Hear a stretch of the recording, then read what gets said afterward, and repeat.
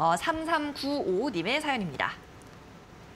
종목의 이름은 미래나노텍 적으셨고요. 매수 2만 1,000원, 비중 15%, 왕초보인데요 라고 하셨어요. 2차 전지 괜찮다고 해서 매수했는데 계속 하향하네요. 조언 부탁드립니다 하셨습니다. 자, 오랜만에 주린이님의 사연이 왔습니다. 미래나노텍 현재가 확인해 보겠습니다. 아, 오늘 살짝 빠집니다. 미래 나노텍 17,150원인데 자 주린이에게 또 하, 해주시고 싶은 조언이 있을까요, 원장님? 자, 좀 살짝 금이 납니다. 어, 네.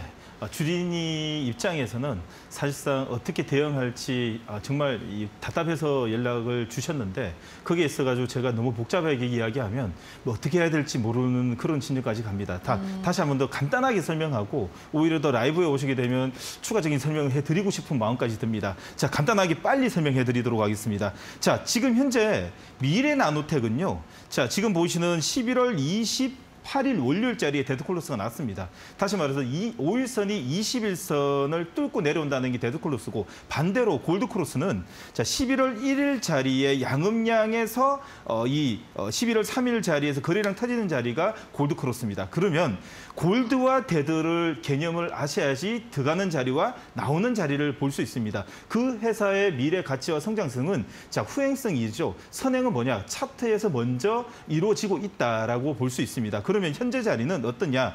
다시 한 번 더 60일선 데드 크로스가 났으면 어, 이 저항을 받- 저항을 받을 수 있는 자리라고 볼 수 있기 때문에 사실상 이 60일선 뚫으려 그러면 추가적인 모멘텀뿐만 아니라 기관과 외국인 쌍끌이 매수가 들어오고 2차 전지 전반적인 이 분위기가 다시 올라가야지 만들어 줄 수 있다라고 볼 수 있겠습니다. 빨리 어, 라인을 잡아 드리도록 하겠습니다. 자, 지금 어, 골드 크로스가 났었던 11월 1일 하단 자리가 이 15,150원입니다. 15,200원 자리를 만약에 깨면 무조건 매도를 하신다고 보시면 되고 지금 현재 어, 이 60일선 데드크로스가 났지만 지지 캔들이 나오는 걸 보게 되면 여기서 어, 추가적인 이 어, 단기적 트레이딩 물량이 들어온다고 볼 수 있습니다. 오늘이 아니라 내일 어, 지지 캔들이 나오게 되면 오히려 더 20일선 샌드위치 캔들로 들어갈 수 있습니다. 다시 말해 샌드위치란 위에 5일, 20일선과 60일선 사이에서 안으로 들어간다는 뜻이라고 볼 수 있는데 이 안으로만 들어오면 지금 시청자님이 매수하셨던 단가 가 2만 천 원까지는 아, 충분히 올 수 있는데 만약에 이게 시간이 머물러져가 시간이 지체돼 가지고 21선이 내려온다 그러면